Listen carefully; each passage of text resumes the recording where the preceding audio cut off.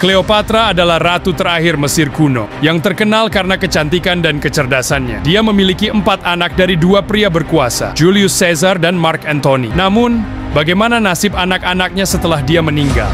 Caesarion adalah putra tertua Cleopatra dari Julius Caesar. Dia adalah pewaris takhta Mesir dan Roma, tetapi dia dibunuh oleh Octavianus saat usianya baru 17 tahun. Alexander Helios, Cleopatra Selene, dan Ptolemy Philadelphus adalah anak-anak Cleopatra dari Mark Antony. Mereka dibawa ke Roma setelah kematian orang tua mereka dan dirawat oleh Octavia, istri Mark Antony yang ditinggalkan. Alexander Helios dan Ptolemy Philadelphus kemudian menghilang dari sejarah, mungkin meninggal muda atau dibunuh. Cleopatra Selene adalah satu satu-satunya anak Cleopatra yang bertahan hidup sampai dewasa. Dia menikah dengan Juba II, Raja Mauretania, dan menjadi ratu yang dihormati. Dia mewarisi kecerdasan dan keindahan ibunya. Dia adalah saksi hidup dari akhir zaman, keemasan Mesir kuno, dan awal zaman kekaisaran Romawi.